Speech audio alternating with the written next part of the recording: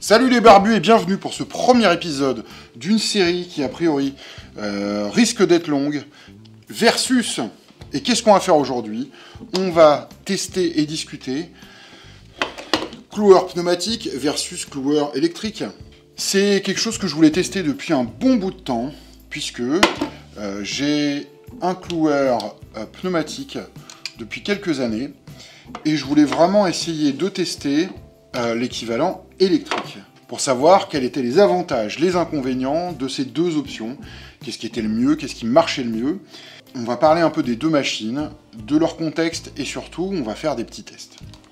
Alors malheureusement, les petits tests, euh, ce sera avec des clous de 25 mm, puisque c'est les seuls que j'ai trouvés dans le magasin de bricolage le plus proche de chez moi. J'ai commandé des 50, mais qui ne sont pas encore arrivés. Mais je pense que, ne serait-ce qu'avec des clous de 25, on devrait pouvoir tester correctement les deux éléments. Alors, qu'est-ce que j'ai comme, comme cloueur? Le premier, c'est un cloueur de marque inconnue, pneumatique, que j'ai acheté il y a de ça quelques années, à peu près 4 ou 5 ans, qui a dû me coûter à peu près 70 euros. Donc il vient se connecter sur votre compresseur et il prend euh, des clous de 15 à 50 mm et des agrafes de 16 à 40 mm. Et donc c'est du, fil de 1,25 par 1. Pression de service, c'est 4 bars. Alors il peut avoir jusqu'à 150 éléments à l'intérieur. Il pèse euh, un petit kilo, et par contre, le gros désavantage, c'est que vous êtes obligé d'avoir un compresseur pour le faire marcher. Vous pouvez régler la force euh, de la percussion, et c'est à peu près tout comme caractéristique. C'est euh, vraiment le bas bas de gamme, enfin c'est pas le bas de gamme, c'est, ouais, si, ça reste le bas de gamme, c'est le bas de gamme pour du cloueur pneumatique. Je vais présenter aussi la deuxième bête. La deuxième bête qui est un cloueur électrique de chez AEG, qui marche avec des batteries 18 volts. Ici, j'ai une batterie de 2 ampères. Euh, Qu'est-ce que c'est les caractéristiques Donc, euh, on peut mettre des clous, on peut pas mettre d'agrafes. Euh, donc, le minimum, c'est 16 mm et le maximum, c'est 55, 55 mm. Et donc, du 18 gauge, donc 1,2 mm. Cette bébête fait à peu près un peu plus de 3 kg avec la batterie. Et je viens juste de l'avoir, donc je suis en train de finir de le tester. Je suis plutôt assez impressionné du résultat. Ça, faisait des mois que je voyais plein de gens utiliser ce genre de clouteuse. Euh, Celle-là, c'est plutôt donc un cloueur pour, euh, finition, puisque euh, il va de 16 mm à 55 mm, donc c'est des clous qui sont relativement petits, et surtout, c'est du 1,2 mm. Il existe des modèles plus gros pour, aussi bien en pneumatique qu'en électrique, pour justement balancer des clous beaucoup plus gros. Quelle est l'utilisation de ces deux appareils pour moi. L'utilisation principale, c'est quand je fabrique une boîte ou un élément en bois, de pouvoir euh, le coller et mettre des clous pour pouvoir faire en sorte que le collage se fasse correctement. Donc c'est pas des clous structurels, c'est plus des clous de maintien. C'est vachement pratique et ça permet d'aller beaucoup plus vite quand vous voulez faire une construction. Cette petite bébête, c'est à peu près 300 euros. Euh, il y a des modèles un peu moins cher, il y a des modèles beaucoup plus chers. Cet appareil-là a plusieurs fonctionnalités, c'est-à-dire il y a un réglage de la pression du percuteur ici. Il a, comme vous le voyez, une petite lampe à LED qui est vachement pratique. Et surtout, vous pouvez sélectionner clou par clou ou le mode multi-clou. Je l'ai essayé un tout petit peu, c'est vraiment pas mal. Vu que la thématique de la vidéo c'est versus, le but est de savoir est-ce que ça vaut le coup d'investir dans, un cloueur électrique ou est-ce que ça vaut le coup d'investir dans euh, un compresseur et de l'utiliser avec une cloueuse pneumatique? Alors c'est là où est le gros avantage et le gros désavantage de l'un et l'autre. Celle-là, vous avez besoin d'un compresseur. La quantité d'air qu'il va utiliser n'est pas énorme, puisque là, il est mis pour 4 bars, mais vous avez besoin d'un compresseur. Un compresseur, ça fait du bruit, un compresseur, ça prend de la place, un compresseur, c'est chiant. Vous allez trouver des compresseurs semi-corrects à partir de 200 balles, mais si vous en voulez un correct, correct, c'est plutôt à partir de 500 balles. Il faut aussi tous les accessoires, il faut lui mettre de l'huile, il faut les câbles pour euh, euh, tout ça, etc. etc. C'est le gros désavantage de cet élément-là, c'est qu'en fait, niveau logistique, vous allez avoir besoin d'investir dans un compresseur. Donc si vous utilisez que ça, en fait, c'est pas très intéressant. Si vous avez envie d'avoir une batterie d'outils qui marche avec le compresseur, ça peut être un bon investissement, et cet appareil-là marche très bien. Si par contre, vous n'avez pas besoin d'autres éléments pneumatiques, et qu'en plus, vous voulez investir dans une marque comme AEG, avec des batteries, eh ben cet, cet, outil-là est vraiment très bien. Je les ai testés les deux et on va les tester tous les deux ensemble. Et au niveau des performances, euh, je ne suis pas sûr qu'il y ait de différence fondamentale. Il existait avant des cloueurs électriques. J'en ai testé plusieurs, mais qui étaient de très très mauvaise qualité.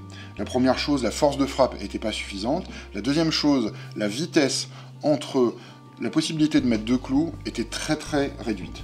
Il y a eu de gros efforts qui ont été faits. Aujourd'hui, celui-là, il est brushless. Ça permet d'avoir des impacts plus forts, ça permet d'être plus puissant.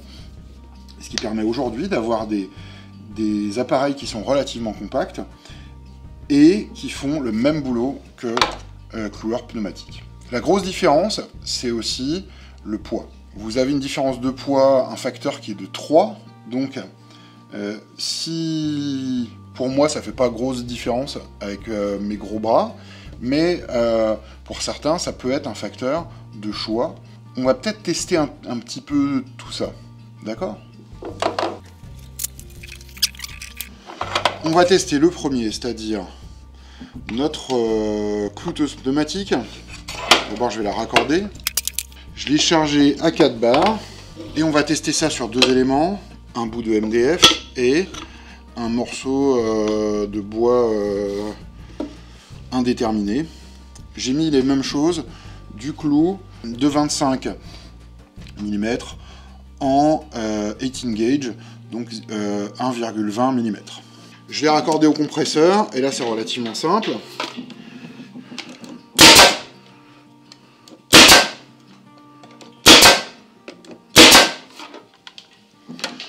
J'ai aucun problème pour clouer euh, tous mes éléments sur mon bois. Maintenant on va tester un peu la rapidité avec laquelle je peux faire ça.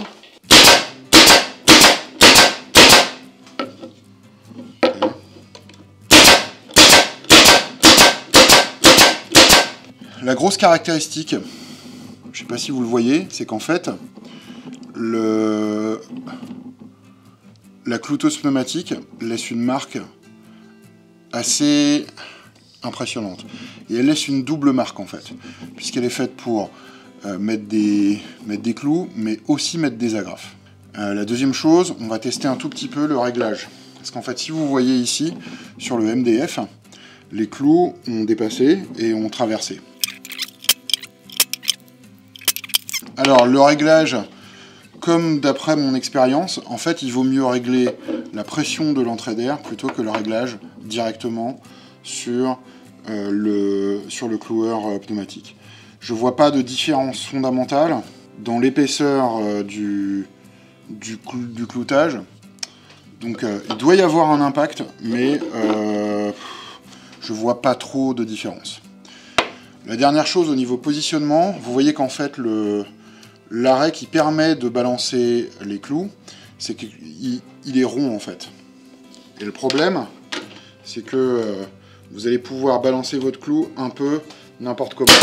Là, je l'ai balancé complètement de travers. Donc ça, pour moi, c'est un point négatif. Alors, il y a d'autres euh, cloueuses pneumatiques qui ont, comme celui-là, un petit bout de plastique qui permet de le mettre bien droit. On va passer à son concurrent et à son cousin. Donc là, je fais plus ou moins le même test. Enfin, je fais le même test avec un morceau de bois euh, pseudo-massif et du MDF.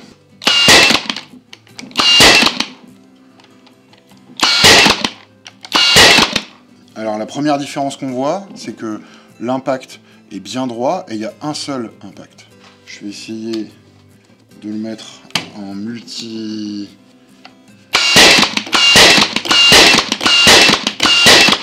Le multi-impact marche vraiment bien.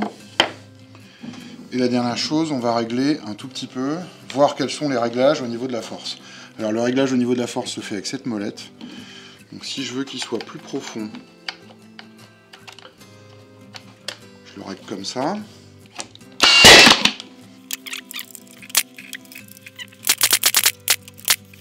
Alors une autre fonction que j'aime vraiment bien, c'est euh, la sécurité. C'est-à-dire, il faut que à chaque fois j'appuie et je désappuie pour pouvoir balancer un clou. J'appuie, balance un clou. Si je rappuie sur la gâchette, le clou ne part pas. Il faut que je désengage et que je le réengage pour le faire. Ça, c'est quelque chose que j'aime vraiment bien. Je pense que nos tests euh, sont plutôt concluants. On va faire euh, une petite conclusion pour dire ce que j'en pense. Alors, après nos petits tests, il est temps de faire une toute petite euh, conclusion. Déjà, la première chose, c'est que les deux marchent très bien. La deuxième chose qui vient à l'esprit, c'est que cette machine est vraiment géniale, mais elle est un peu lourde. Rien qu'en ayant mis, je sais pas, une vingtaine de clous, je sens mon épaule qui euh, tire un petit peu. Pour moi, c'est pas vraiment un problème, mais je pense aux gens avec un plus petit gabarit, ça peut être un problème.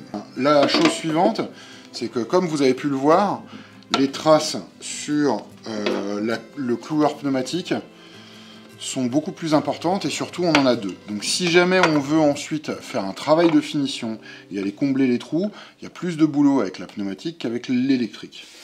J'ai pas vu une différence fondamentale de puissance entre les deux.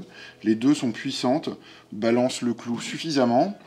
Euh, il y a peut-être un peu plus de réglage de précision sur l'électrique que par rapport au pneumatique. La pneumatique, il faut aller régler la pression de l'air, alors que ici, vous avez un bouton qui est relativement simple et qui vous permet de régler la profondeur voulue du clou. J'ai été plutôt impressionné par la fonction multi-clou de l'électrique. Je m'attendais pas à une réponse aussi euh, rapide. Et c'est vrai que la pneumatique, bah, je connais son fonctionnement. Euh, du moment qu'on a de l'air dans le compresseur, on peut enfoncer des clous. La dernière euh, variable que j'ai pas pu tester parce que ça demanderait beaucoup de tests, c'est la capacité de la batterie. mais on voit en fait sur l'indicateur que bah, il est toujours à 4 alors que j'ai enfoncé j'ai dû enfoncer une cinquantaine de clous depuis le début que je l'ai utilisé et depuis que je l'ai chargé. Donc je pense que la batterie réussit à tenir relativement bien et vous permet euh, d'enfoncer un nombre euh, plutôt important de clous. Je pense que les deux outils sont bien, c'est deux utilisations complètement différentes. Pour la version pneumatique, si vous avez déjà investi dans un compresseur, c'est quelque chose de correct. Si par contre vous n'avez pas investi dans un compresseur, ce genre de machine, c'est vraiment bien. Et j'avais un a priori sur ce genre de machine. J'en avais essayé, il y a de ça quelques années, et qui était vraiment pas génial, qui arrivait même pas à, enfoncer des clous minables dans du bois complètement pourri. La technologie a changé, et c'est vachement bien et vachement pratique. Alors, une autre chose aussi, c'est que bah, celle-là, elle est sans fil. Et ça peut paraître con, mais ça ne l'est pas. Si vous devez aller euh, clouer des trucs sur un échafaudage, plutôt que d'avoir un espèce de câble à air qui va passer partout, et eh ben vous avez ça, en plus vous avez le crochet pour le mettre à la ceinture, euh, c'est vachement pratique. J'aimerais bien un jour pouvoir tester euh, la version avec des gros clous de barbare, un peu les framing nailers comme ils disent ça aux États-Unis, c'est-à-dire les, les, cloueurs pour euh, faire des charpentes ou des trucs comme ça. Je vois la force que ça a et je me dis qu'il y a potentiellement euh, euh, du potentiel pour que... Potentiellement du potentiel, putain je parle trop bien français. je pense qu'il y a du potentiel pour que justement dans ce genre de cas ce soit vachement pratique. On puisse aller monter à 6 mètres de haut avec le cloueur pneumatique sans avoir un câble qui vient traîner à droite à gauche. Voilà, c'est à peu près tout ce que j'ai à dire sur ces deux machines. Moi, ces deux machines, je vais les garder, en fait. Je pense que celle-là va être plus pour du cloutage euh, occasionnel, c'est-à-dire euh, du cloutage euh, que j'avais pas prévu, entre guillemets. Et celle-là sera pour du cloutage ou de l'agrafage prévu, C'est-à-dire, je sais que j'ai 27 boîtes à faire, et ben là, je vais raccorder mon truc pneumatique, et je vais recharger mon compresseur, etc. etc. Mais ça, c'est une très bonne machine pour euh, justement l'avoir toujours sous la main et pouvoir l'utiliser en permanence. Pour le pneumatique, il y a besoin d'un peu de logistique avant de le mettre en place. En tout cas, bah, des résultats qui sont plutôt concluants. Euh, si vous aussi, bien sûr, vous avez des anecdotes ou même vous avez un retour à faire C'est un élément que j'ai pas dit. Oh la vache. Alors, un élément qui est important, que j'ai complètement oublié, c'est le bruit quelle est la différence de bruit entre ces deux outils? Il y a deux types de bruit.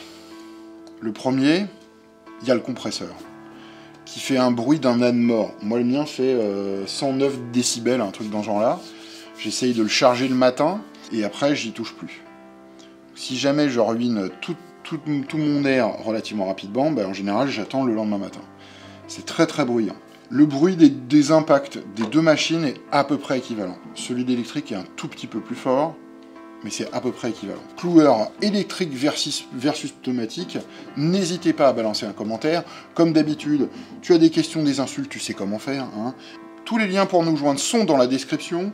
Tu peux bien évidemment laisser un commentaire et bien sûr tu t'abonnes. Tu peux aussi, comme Cyril M, aller cliquer sur le lien Utip qui est dans la description aller regarder une petite publicité, ce qui nous permettra de nous faire un petit peu de pognon et de nous acheter plein de clous pour clouer plein de trucs et faire chier les voisins. Voilà C'est tout pour cet épisode, ce premier épisode de Versus. S'il vous a plu ou si vous voulez d'autres Versus, n'hésitez pas à laisser un petit, un petit commentaire. J'espère que cet épisode vous aura plu. En attendant le prochain, faites des trucs, inspirez-vous et que la barbitude soit avec vous.